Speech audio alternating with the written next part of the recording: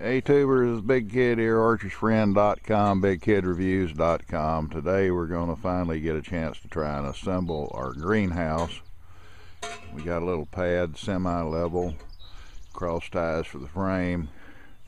Got the aquaponic, or hydroponics, whichever the heck one it is. Tubs in place. Got our greenhouse delivered disassembling it. I'm going to start trying to put her together, make some more clips as we go. The plastic tarp type cover. But we'll see how it works. We got the electricity run from the carport. We got our blue bonnets coming up. So we'll have to run the pumps and the aerators and all that good stuff. So we got electricity over there. Well, see you on the next clip. Now the frame's together and it's got little thumb screw things to hold the pipes in place when the wind jiggles it, but experience in the northern mountains and high winds and this West Texas wind says go ahead and tape the joints. We use electrical tape. It's cheaper than duct tape, works just as well, and it'll save you a lot of headaches trying to put one of these things back together that the winds blow it apart is very very difficult and usually it tears stuff up and ruins it. So this is what we do.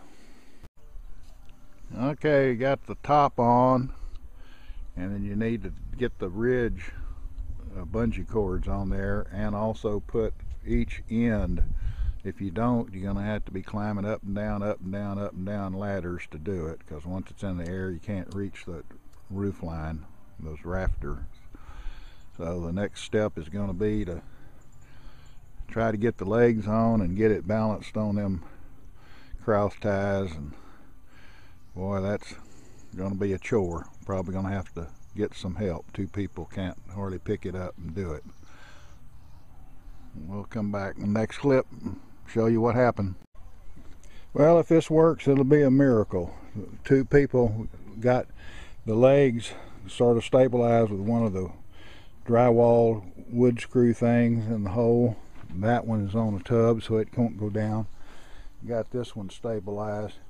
Go around the other side, put the legs on, and maybe it'll work. Well, it's a miracle. It actually worked. Now, got to put the side braces front to back on here before the wind kicks up. Sun's burning them clouds off so the wind's gonna pick up. If we don't get this anchored before it does, it's gonna be a problem in River City. So get that done and see how it looks. Now you can't get in a hurry with these things because if they got the legs bowed or whatever, those tarps ain't gonna stretch or the covering.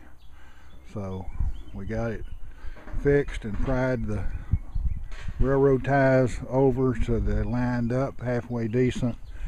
Got the end to where it is on the pole like it's supposed to. That end down there don't look too good with the wind blowing but it's really pretty close to plumb. And uh, going to go back to the other side now and put at least one lag screw in to keep it from shifting on us. Then put this side up, finish bolting her down, and best I can tell, we're in business. And the next project will be to populate those tubs with the proper water, get the pump set, aerator set. Well, I have to get my power over there.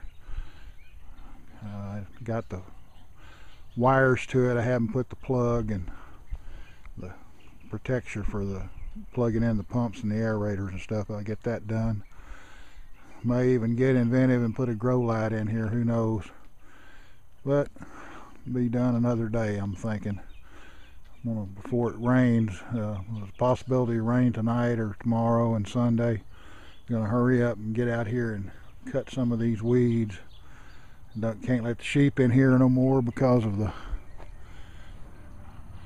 garden is coming up and get the mower in and knock this grass back around the fruit trees and stuff all right we'll get one more clip here when we get the side up and called it good on assembling the greenhouse. Well, it looks like I finally got it done.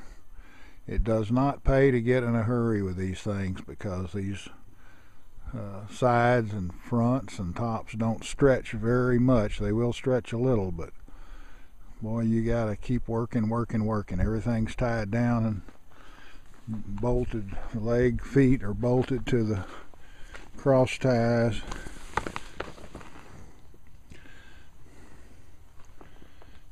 got lag screws in there.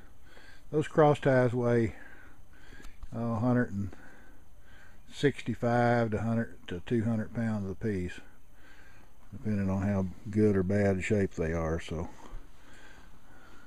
I don't know. We'll see how the wind does. Roof looks pretty tight. Got vent holes. It's to get pretty hot in here when the sun's shining all day. But that's what she wanted, so that's what we got. And I got a little gap we may or may not have to deal with there in the middle of the cross ties. And uh, we'll see how it all plays out. Hit the subscribe button and share and like, do all those good things. Google Plus us. We'll see you on the next one.